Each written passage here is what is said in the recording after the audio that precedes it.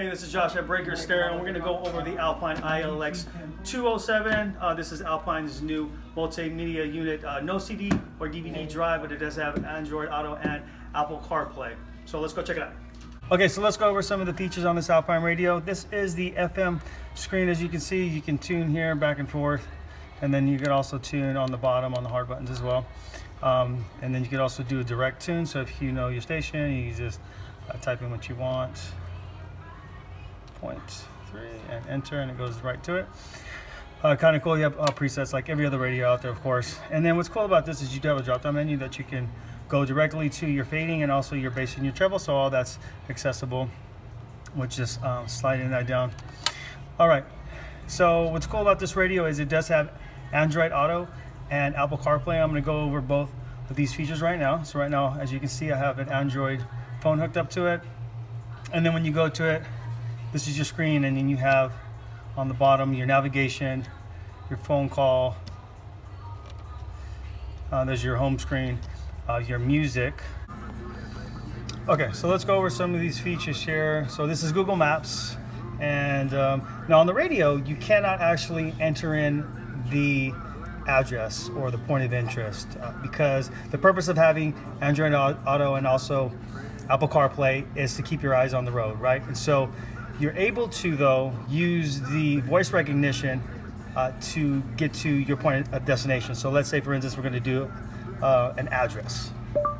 Directions to 465 North Oxnard Boulevard. Your work is one minute from your location by car in light traffic.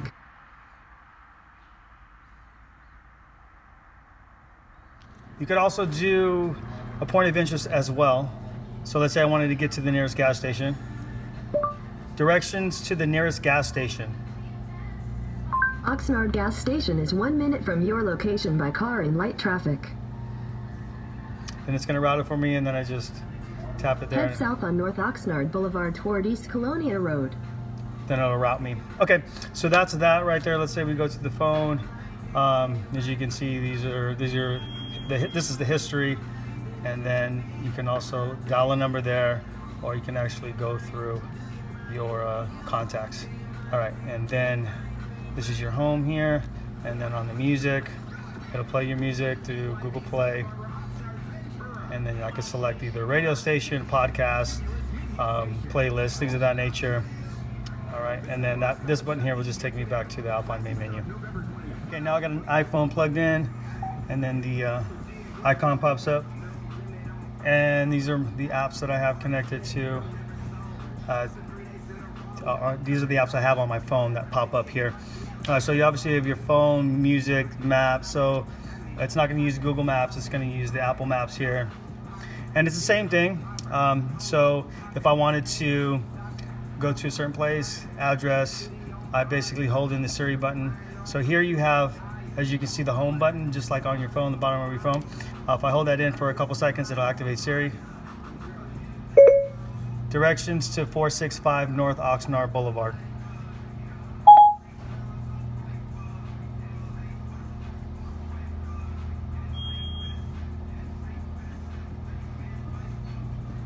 Getting directions to 465 North Oxnard Boulevard, Oxnard.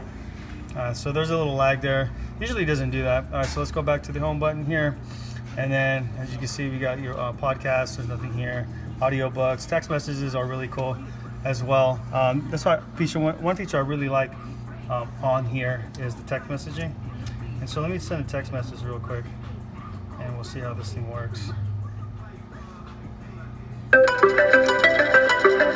Okay, so I got a text message here. If I tap it, it'll read it out to me. Christian Bird said, Breaker stereo is awesome. Want to reply? Yes. What do you want to say? I agree. Your reply to Christian Bird says, I agree. Ready to send it? Yes. Done. Okay, so you're able to send text messages like that um, all through Siri, all through just one quick touch on the screen. Now, that was a little loud, so I'm going to go into the menu, show you guys how to turn that down. So if you're going to go into to setup here, and then we're going to go into, uh, I want to say sound. All right, and we're gonna go into source setup and then scroll to CarPlay. And then, okay, so Siri's pretty loud right now. So I can take that down to about two. Let's take notifications down to two and this as well.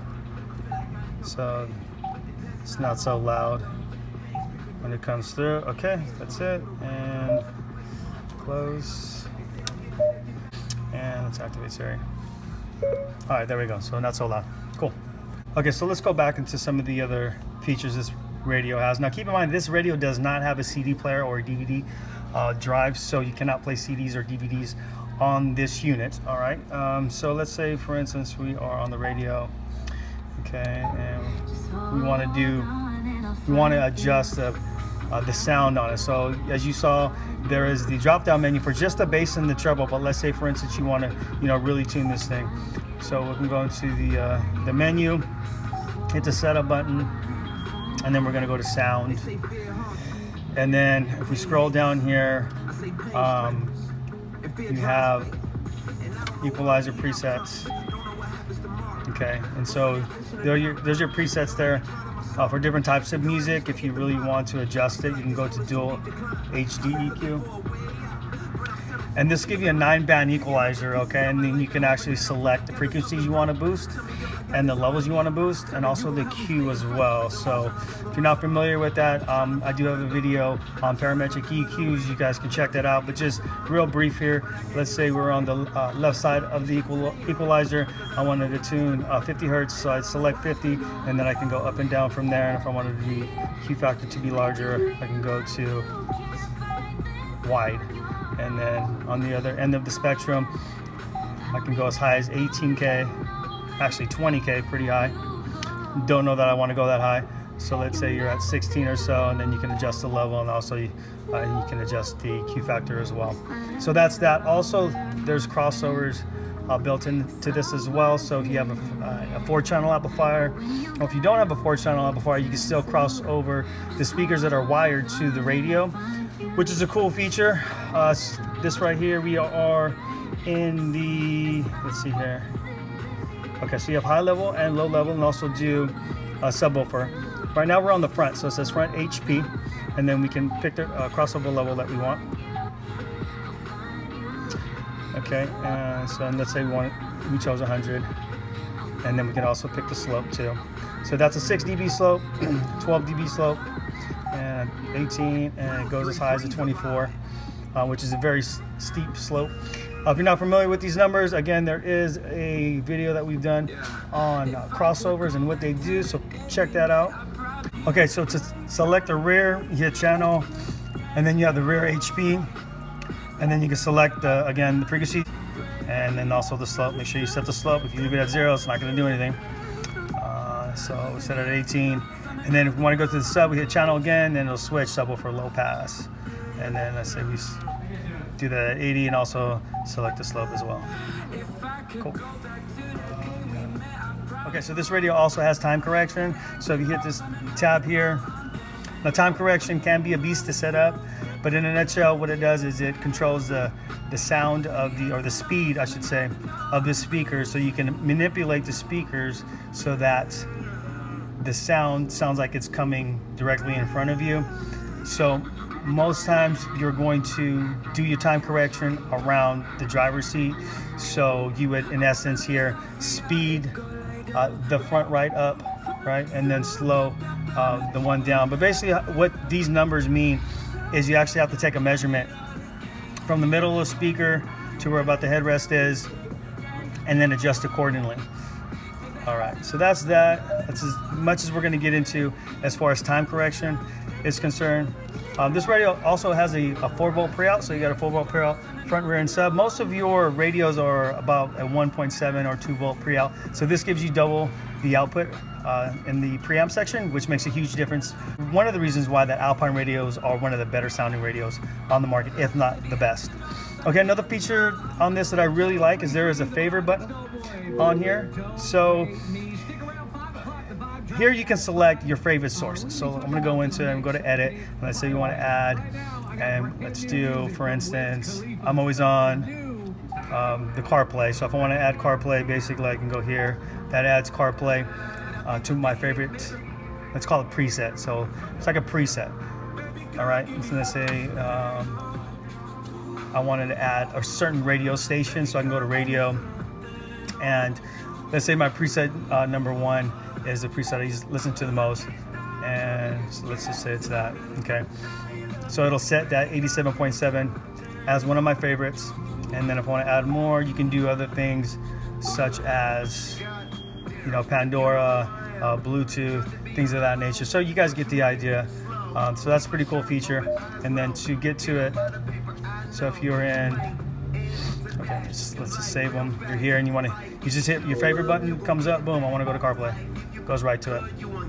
Another nice feature on this too is Alpine has a navigation button uh, that they have on all their navigation units, and they put this on this radio as well, even though it does not have navigation, but it obviously uses the navigation on the Apple CarPlay and on the uh, Android Auto as well. So if you hit that button right there, it'll take it directly to the maps, whatever device you're on, uh, which is, I, I believe, a cool, really cool feature to have as well.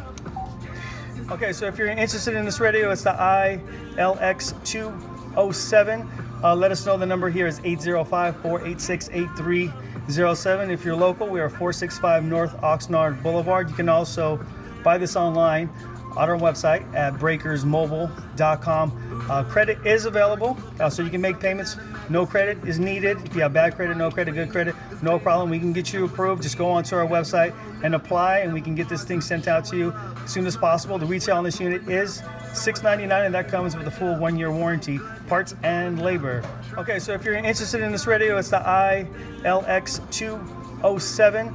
Uh, let us know. The number here is 805 486 8307. If you're local, we are 465 North Oxnard Boulevard. You can also buy this online on our website at breakersmobile.com. Uh, credit is available, uh, so you can make payments. No credit is needed. If you have bad credit, no credit, good credit, no problem. We can get you approved. Just go onto our website and apply, and we can get this thing sent out to you as soon as possible. The retail on this unit is 699, and that comes with a full one-year warranty, parts and labor. Okay, log on to breakersmobile.com. Scroll down slightly and click where it says apply now to get approved for up to $2,500.